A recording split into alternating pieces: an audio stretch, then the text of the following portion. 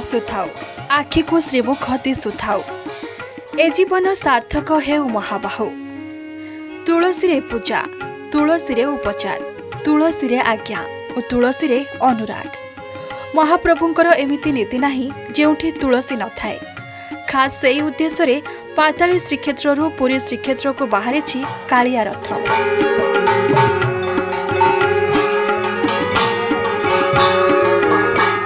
ବିନୋଦିଆ ଆମ କାଳିଆ ଠାକୁର। ବିଭିନ୍ନ ନୀତି ଓ ବେଶରେ ଭିନ୍ନ ଭିନ୍ନ ରଙ୍ଗର ଓ ବାସ୍ନାର ଫୁଲରେ ସଜ ହୋଇ ଦର୍ଶନ ଦିଅନ୍ତି ରସିକରାଜ ଶ୍ରୀ ଜଗନ୍ନାଥ। ଏମିତି କୌଣସି ପୁଷ୍ପାଳଙ୍କାର ନାହିଁ ଯେଉଁଥିରେ ତୁଳସୀ ନଥାଏ। ତୁଳସୀ ଦୟଣା ପ୍ରିୟ ଆମ କାଳିଆ ସାନ୍ତ ତାଙ୍କ ପୂଜାରେ ତୁଳସୀ ମସ୍ତକରେ ତୁଳସୀ ଆଉ ମହାପ୍ରସାଦରେ ବି ତୁଳସୀ ଲାଗେ। ସେଇଥିପାଇଁ ତ ମହାପ୍ରଭୁଙ୍କ ଟାହିଆ ଟୋପର ଗୁଣା ନାକଚଣା ସମେତ ପ୍ରତିଟି ପୁଷ୍ପାଳଙ୍କାରରେ ତୁଳସୀ ବ୍ୟବହୃତ ହୋଇଥାଏ। ଠାକୁରଙ୍କ ଛଡ଼ା ତୁଳସୀ ପାଇଗଲେ ଭକ୍ତ ମନ ପୁରି ଉଠେ। କୋଟି ନିଧି ମିଳିଗଲା ଭଳି ଲାଗେ।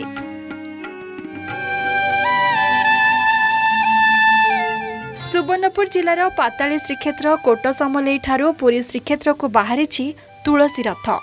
ପ୍ରଥମେ ଉଲୁଣ୍ଡା ପରେ ବିନିକା ତାପରେ ବିଶିମୁଣ୍ଡା ସୋନପୁର ଦେଇ ଏକ ସୁସଜ୍ଜିତ ରଥରେ କାଳିଆ ମହାପ୍ରଭୁଙ୍କ ସୁନାବେଶ ପାଇଁ ତୁଳସୀ ସହ ଫୁଲ ଭକ୍ତମାନଙ୍କଠାରୁ ସଂଗ୍ରହ କରି ପୁରୀ ଅଭିମୁଖେ ବାହାରିଛି।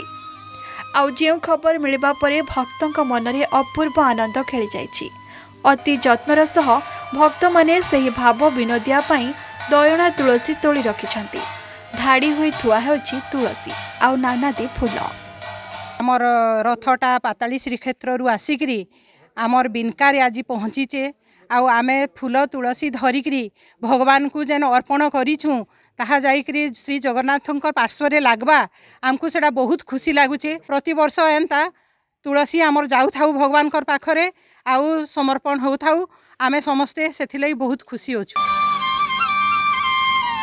ତୁଳସୀ ଯେଉଁ ଗାଡ଼ିରେ ଯିବ ସେହି ଗାଡ଼ିକୁ ମଧ୍ୟ ଅତି ସୁନ୍ଦର ଭାବରେ ସଜାଯାଇଛି। କାଳିଆ ପାଇଁ ତୁଳସୀ ଯାଉଥିବାରୁ ସେହି ଗାଡ଼ିକୁ ରଥ ଭଳି ସଜା ହୋଇ ତୁଳସୀ ରଥ ବୋଲି କୁହାଯାଉଛି। ପ୍ରଥମେ ଗାଡ଼ିକୁ ପରିକ୍ରମା କରି ତୁଳସୀ ଝୁଳି ସବୁ ରଖାଯାଉଛି। ରୀତିନୀତି ଅନୁଯାୟୀ କଳସ ବସାଇ ନଡ଼ିଆ ଭାଙ୍ଗି ଦୀପ ଧୂପ ଲଗାଇ ତୁଳସୀ ରଥକୁ ପୂଜାର୍ଚ୍ଚନା କରାଯାଇଛି। ଶଙ୍ଖ ହୁଳହୁଳି ଘଣ୍ଟ ବଜାଇ ଜୟ ଜଗନ୍ନାଥ ଧ୍ୱନିରେ ଫାଟି ପଡ଼ୁଛି ପୁରା ଅଞ୍ଚଳ।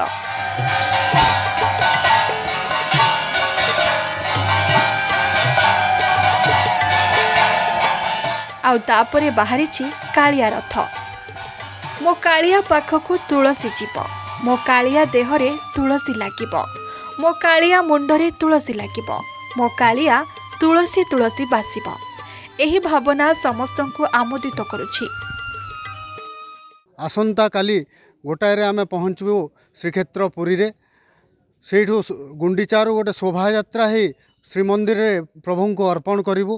ତା'ର ମୂଳ ଉଦ୍ଦେଶ୍ୟ ହେଲା ଆମର ଜଗନ୍ନାଥ ସଂସ୍କୃତିକୁ ବଜାୟ ରଖିବା ହିନ୍ଦୁତ୍ୱକୁ ବଜାୟ ରଖିବା ଏଇଟା ହେଲା ଆମର ମୂଳ ଲକ୍ଷ୍ୟ। ପ୍ରଭୁଙ୍କର ପାଖରେ କେମିତି ସବୁ ବର୍ଷ ଏଇ ଆମ ଅଞ୍ଚଳରୁ ଫୁଲ ତୁଳସୀ ଯାଇ ପ୍ରଭୁଙ୍କୁ ପହଞ୍ଚୁ ଏଇଟା ହେଲା ଆମର ମୂଳ ଲକ୍ଷ୍ୟ। ଆଜି କାର୍ତ୍ତିକ ମାସ ଅଁଳା ନବମୀ ଆଜି ଏହି ରଥ ବାହାରିଛି। କାଲିଠୁ ଆରମ୍ଭ ହୋଇଯାଉଛି ପଞ୍ଚୁକ। ସୋନପୁର ନୟାଗଡ଼ ଦଶପଲ୍ଲା ଭୁବନେଶ୍ୱର ଦେଇ ଆସନ୍ତାକାଲି ଦିନ ଗୋଟାଏରେ ପହଞ୍ଚିବ ଏହି ତୁଳସୀ ରଥ। ଶ୍ରୀଗୁଣ୍ଡିଚାରୁ ଶୋଭାଯାତ୍ରା କରି ଶ୍ରୀମନ୍ଦିରକୁ ଯିବ। ମହାପ୍ରଭୁଙ୍କ ସୁନାବେଶରେ ଲାଗି ହେବା ଉଦ୍ଦେଶ୍ୟରେ ଏହି ତୁଳସୀ ପଠାଯାଉଛି। ତେବେ ଏହି କାଳିଆ ତୁଳସୀ ଯାତ୍ରା ଗତ ତିନି ବର୍ଷ ହେଲା କରାଯାଉଛି। ଏପରି ସୁନ୍ଦର ଚିନ୍ତାଧାରା ପାଇଁ ଭକ୍ତମାନେ ବହୁ ଖୁସି ବ୍ୟକ୍ତ କରି ଆୟୋଜକମାନଙ୍କୁ ଧନ୍ୟବାଦ ଜଣାଇଛନ୍ତି। ସୁବର୍ଣ୍ଣପୁରରୁ ସୃଜନ କୁମାର ପଣ୍ଡାଙ୍କ ରିପୋର୍ଟ ଅର୍ଗସ୍ ନ୍ୟୁଜ୍